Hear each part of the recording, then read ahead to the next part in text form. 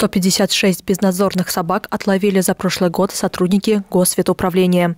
В 2024 учреждение продлило контракт с администрацией. На отлов выделили финансирование.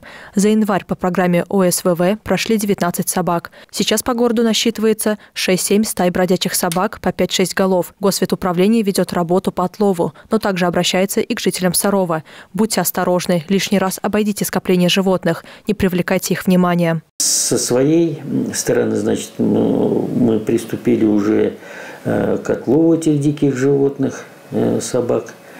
Значит, э, программа, которая называется ОСВВ, вот согласно контракту мы ее начали, приступили к выполнению этой программы.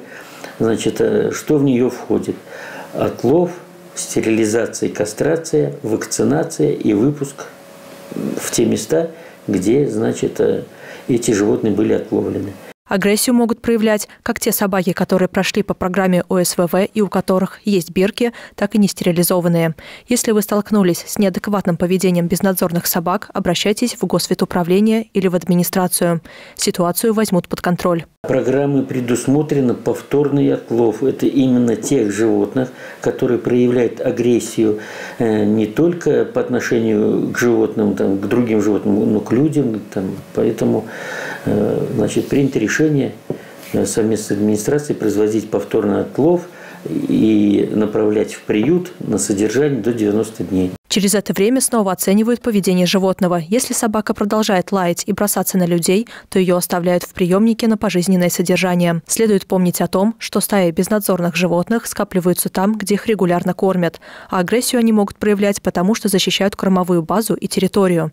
Так, например, происходит и на улице Силкина, где жители построили для собак шалаши из АТЦ «Галактика». Там уже биркованных животных тоже подкармливают неравнодушные люди. Где люди подкармливают, там количество животных может возрастать, потому что а, они мигрируют по всему городу, но где есть кормовая база, естественно, они идут туда. Поэтому э, предположение, что сытая собака не будет агрессировать или э, там, нападать на людей, я считаю, что это ошибочно. В любом случае, вот в этот период времени как бы кормовая база – это не основное, все-таки основной это инстинкт. Программа ОСВВ рассчитана шестимесячного возраста собак, поэтому пристроить совсем маленьких щенков Госветуправлению помогают волонтеры приемника «Верный друг». Также гражданам напоминают, что учреждение бесплатно вакцинирует домашних животных против бешенства.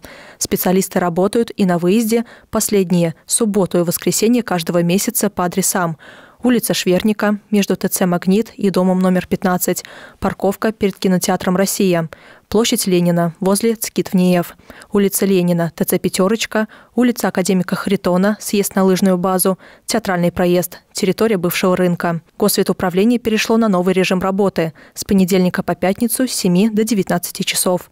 Суббота-воскресенье с 9 до 15 часов. Подробности по телефону 492 20.